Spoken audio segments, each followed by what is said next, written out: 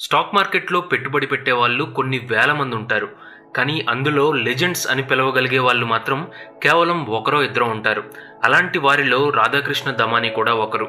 Indian Warren బఫెట్గా పేరు తెచ్చుకున్న రాకేష్ జుంజున్వాలాకి ఈ రాధాకృష్ణ దమానీ గారే స్టాక్ మార్కెట్ పాఠాలని నేర్పించారు. అలాంటి గొప్ప ఇన్వెస్టర్ అయిన దమానీ గారు స్థాపించిన డీమార్ట్ ఈరోజు ఇండియాలో ఒక సెన్సేషన్గా మారింది. సో ఫ్రెండ్స్ అలాంటి అద్భుతమైన వ్యాపార సామ్రాజ్యం ఎలా మొదలైందో అసలు డీమార్ట్ సక్సెస్ స్టోరీ ఏంటో ఈ రోజు వీడియోలో చూద్దాం.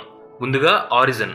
ఈ రాధాకృష్ణ దమానీ గారు పదిహేను మార్చ్ పంతొమ్మిది వందల యాభై నాలుగో సంవత్సరంలో ఒక మార్వాడీ ఫ్యామిలీలో పుట్టారు.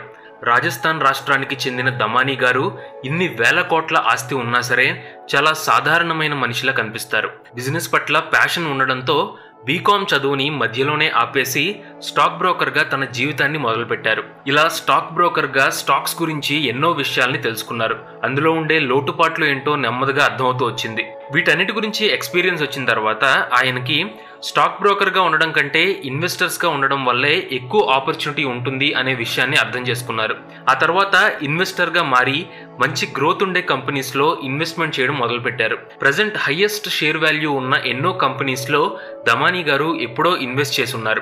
HDFC Bank India Cements Andhra Paper Sundaram Finance Blue dot Express Jubilant Food Works TV eighteen broadcast ఇలా చాలా సెక్టార్స్లో ఇన్వెస్ట్మెంట్స్ని కలిగి ఉన్నారు. అయితే కొన్నాళ్ళకు స్టాక్ బ్రోకర్ జాబ్ని మానేసి తన ఓన్గా ఒక రిటైల్ స్టోర్ని స్టార్ట్ చేయాలి అని దమానీ గారు అనుకున్నారు.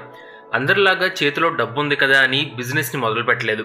ముందుగా అప్నా బజార్ అనే రిటైల్ స్టోర్ నుండి ఫ్రాంచైజీని తీసుకుని ఆ స్టోర్ని రన్ చేయడం స్టార్ట్ చేశారు. కొన్ని సంవత్సరాల పాటు స్టోర్ని రన్ చేయడం వల్ల ఎంతో ఎక్స్పీరియన్స్ని సంపాదించుకున్నారు. ఇప్పుడు మనందరికీ తెలిసిన డీమార్ట్ ఆ ఎక్స్పీరియన్స్ నుండి పుట్టింది. ఇక్కడ ఇంకో విషయం ఏంటంటే డీమార్ట్ లాగే చాలా రీటైల్ స్టోర్స్ ఉన్నాయి. కానీ ఆ స్టోర్స్ అన్నిటికంటే డీమార్ట్ ఎందుకంత సక్సెస్ అయింది అనేది మనం తెలుసుకోవాలి.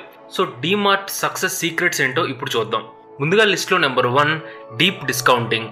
అన్నిటికంటే ముందు డీమార్ట్ అంటే జనం ఇంట్రెస్ట్ చూపించడానికి మెయిన్ రీజన్ డిస్కౌంట్. అంటే ఏదైనా ప్రోడక్ట్కి మార్కెట్లో ఉండే రేట్ కంటే కనీసం five to six percent discount మనకి డీమార్ట్లో దొరుకుతుంది. అయితే ఈ five to six percent discount వల్ల ఒక మిడిల్ క్లాస్ ఫ్యామిలీకి ఎంతో మనీ సేవ్ అవుతుంది. అసలు ఇలా డిస్కౌంట్స్ ఇవ్వడం వల్ల డీమార్ట్కి ప్రాఫిట్ ఎలా జనరేట్ అవుతుంది అని మీలో చాలామందికి డౌట్ రావచ్చు. అయితే ఇక్కడే మెయిన్ సీక్రెట్ ఉంది. సో ఒకే ప్రొడక్ట్ కొంటే వాళ్ళకి పెద్దగా ప్రాఫిట్ రాకపోవచ్చు. కానీ స్టోర్లో తిరుగుతూ కస్టమర్ కొనే మిగతా ప్రొడక్ట్స్ మీద ఖచ్చితంగా డీమార్ట్కి ప్రాఫిట్ వస్తుంది. అండ్ ఇంకో విషయం ఏంటంటే డీమార్ట్ వెండర్స్ దగ్గర నుండి ప్రొడక్ట్స్ని బల్క్లో కొంటుంది. ఇలా చేయడం వల్ల డీమార్ట్కి నార్మల్ ప్రైస్ కంటే ఎక్కువ డిస్కౌంట్లో ప్రొడక్ట్స్ వస్తాయి. ఈ అడ్వాంటేజ్ ఉండడం వల్ల కస్టమర్కి తక్కువ ప్రైస్లో వస్తువుల్ని ఇవ్వగలుగుతున్నారు. Next number two land ownership మీరు ఇండియాలో ఏ డీమార్ట్ స్టోర్ని తీసుకున్నా సరే ఆ స్టోర్ డీమార్ట్ ఓన్ ల్యాండ్ అయి ఉంటుంది. ఇంకా సింపుల్గా చెప్పాలంటే ఇప్పుడు అదే స్టోర్ని రెంట్కి తీసుకుంటే వాటికి ఆ స్టోర్ ఉన్న లొకేషన్ని బట్టి రెంట్ని పే చేయాల్సి ఉంటుంది. అదే స్టోర్ ఉండే ల్యాండ్ గనక ఓన్ ల్యాండ్ అయితే రెంట్ కూడా పే చేయాల్సిన అవసరం ఉండదు. డీమార్ట్ ఇలా చేయడం వల్లే చాలా కాస్ట్ కట్టింగ్ జరిగింది. ఇంకో విషయం ఏంటంటే డీమార్ట్ ఎప్పుడు పెద్ద పెద్ద మాల్స్లో కానీ రిచ్ ఏరియాస్లో కానీ కనిపించవు. మిడిల్ క్లాస్ పీపుల్ ఎక్కువగా ఉండే కాలనీస్ అపార్ట్మెంట్స్ దగ్గర డీమార్ట్ స్టోర్లు కనిపిస్తూ ఉంటాయి. అంటే రియల్ ఎస్టేట్ వాల్యూ తక్కువగా ఉండే tier two and tier three సిటీస్లో వీళ్ళ స్టోర్స్ ఎక్కువగా కనిపిస్తూ ఉంటాయి. అండ్ ఇలా డీమార్ట్ ఎప్పుడు ఓన్ ల్యాండ్లోనే తమ స్టోర్ని బిల్డ్ చేసుకోవడం వెనక పెద్ద సీక్రెట్ ఉంది. యాక్చువల్గా ఈ ల్యాండ్ ఓనర్షిప్ అనేది మెక్డొనాల్డ్స్ ఐడియా అయితే అదే ఐడియాని డీమార్ట్ ఇక్కడ ఇంప్లిమెంట్ చేసింది. ఆ బిజినెస్ మోడల్ ఏంటంటే ల్యాండ్ ప్రాపర్టీని కొనుక్కుని అక్కడ తమ ఫ్రాంచైజీ ఇవ్వడంతో పాటు ఆ ప్లేస్లో వేరే బిజినెస్ చేసే వారి దగ్గర నుండి రెంట్ కూడా తీసుకుంటారు. ఈ బిజినెస్ మోడల్ వల్ల మెక్డొనాల్డ్స్ జస్ట్ వన్ ఇయర్లోనే కొన్ని వందల అవుట్లెట్స్ని స్టార్ట్ చేసింది. అయితే డీమార్ట్ బిజినెస్ మోడల్ దీనికి రిలేటెడ్గా ఉంటుంది. ఎక్కడైతే పబ్లిక్ ఎక్కువగా షాపింగ్ చేస్తారో అక్కడ ల్యాండ్ వాల్యూ ఆటోమేటిక్గా పెరుగుతుంది. సో ఇండైరెక్ట్గా డీమార్ట్ రియల్ ఎస్టేట్ మీద ఇన్ఫ్లుయెన్స్ చూపిస్తుంది. అందుకే డీమార్ట్ కంట్రీ మొత్తం మీద ఎక్కడా కూడా ఒక్క రీటైల్ స్టోర్ని కూడా లీజ్కి తీసుకోలేదు. Next number three simple infrastructure. Interior designing మీద మిగతా రీటైల్ స్టోర్స్ ఖర్చు పెట్టినట్లు డీమార్ట్ తమ స్టోర్స్లో ఖర్చు పెట్టలేదు. ఇలా చేయకపోవడం వెనుక చాలా పెద్ద రీజనే ఉంది. ఇంటీరియర్ డిజైనింగ్ మీద మనీ ఎక్కువగా ఖర్చు చేస్తే ఆ ఇన్వెస్ట్మెంట్ని బ్యాక్ తెచ్చుకోవడానికి స్టోర్స్లో ఉండే ప్రొడక్ట్స్ మీద ప్రైస్ని పెంచాల్సి ఉంటుంది. అందుకే డీమార్ట్ స్టోర్స్ అన్ని కూడా పెద్దగా హంగు ఆర్భాటం లేకుండా సింపుల్గా మెయింటైన్ చేస్తూ ఉంటారు. ఇలా చేయడం వల్ల కస్టమర్స్కి డిస్కౌంట్స్ని ఇవ్వడంతో పాటు వాళ్ళ ట్రస్ట్ని కూడా గెయిన్ చేయొచ్చు. ఇలాంటి బెనిఫిట్స్ ఉన్నాయి కాబట్టే డీమార్ట్ స్టోర్స్ అన్నీ కూడా సింపుల్ డిజైన్స్నే ఫాలో అవుతూ ఉంటాయి. అలాగే మీరు గమనిస్తే డీమార్ట్ అడ్వర్టైజ్మెంట్ కోసం ఎక్కువగా ఖర్చు చేయకుండా ఆ మనీని కూడా కస్టమర్ డిస్కౌంట్స్కి ఉపయోగించడం వల్ల వాళ్ళ నమ్మకాన్ని సంపాదించగలిగింది. తర్వాత number four fast payments to dealers. జనరల్గా రీటైల్ స్టోర్కి వెండర్కి మధ్య బల్క్లో ప్రొడక్ట్స్ అనేవి ఎక్స్చేంజ్ అయినప్పుడు పేమెంట్స్ అంత ఫాస్ట్గా జరగవు. తీసుకున్న ప్రొడక్ట్ అమౌంట్ని బట్టి పేమెంట్స్ డేట్స్ అనేవి పదిహేను నుంచి ఇరవై ఐదు రోజులు ఉంటాయి. ఆ టైంలోపు ఎప్పుడైనా సరే వెండర్స్కి పేమెంట్ అందుతుంది. ఒక రకంగా చెప్పాలంటే స్టోర్స్కి ఇది పెద్ద అడ్వాంటేజ్. అయితే డీమార్ట్ మాత్రం వెండార్స్కి ఇలా పేమెంట్ని లేట్ చేయకుండా ముందుగానే పే చేస్తూ ఉంటుంది. ఇలా చేయడం వల్ల ప్రొడక్ట్స్ వెండర్స్ అందరూ కూడా డీమార్ట్కే ఫస్ట్ ప్రిఫరెన్స్ ఇస్తారు. ఎందుకంటే ఇలా పేమెంట్ ముందుగా అందడం వల్ల వాళ్ళు కూడా తమకు కావాల్సిన రీసోర్సెస్ని తీసుకురాగలుగుతారు. అలాగే వీళ్ళు డీమార్ట్ స్టోర్లో ఏ ప్రోడక్ట్ ఎంత అమౌంట్లో కావాలి అన్నా సరే వితౌట్ డిలే ప్రొవైడ్ చేస్తారు. ఈ అడ్వాంటేజ్ ఉండడం వల్ల డీమార్ట్ వెండర్స్కి ముందుగానే మనీని పే చేస్తుంది. మెయిన్ వీడియోలోకి వెళ్ళే ముందు మీకు డైలీ లైఫ్లో ఉపయోగపడే ఒక మంచి మనీ మేనేజ్మెంట్ పుస్తకాన్ని రికమెండ్ చేస్తాను. అదే ద ఫైనాన్షియల్ డైట్. మనందరికీ హెల్దీగా ఉండడానికి కావాల్సిన డైటింగ్ తెలుసు. కానీ లైఫ్లో ఫైనాన్షియల్గా ఎదగాలి అంటే మనం ఫాలో అవ్వాల్సిన డైటే ఈ ఫైనాన్షియల్ డైట్. ఇందులో రైటర్ చెల్సియా చాలా సింపుల్గా డే టు డే లైఫ్లో కొన్ని చిన్న చిన్న మార్పులతో లాంగ్ టర్మ్ ఫైనాన్షియల్ గోల్స్ని ఎలా అచీవ్ చేయాలో ఎక్స్ప్లెయిన్ చేశారు. ఈ ఫైనాన్షియల్ డైట్ బుక్లో డబ్బుని ఎలా పొదుపు చేయాలి ఖర్చుని ఎలా తగ్గించుకోవాలి బ్యాంక్ బ్యాలెన్స్ని ఎలా పెంచుకోవాలి?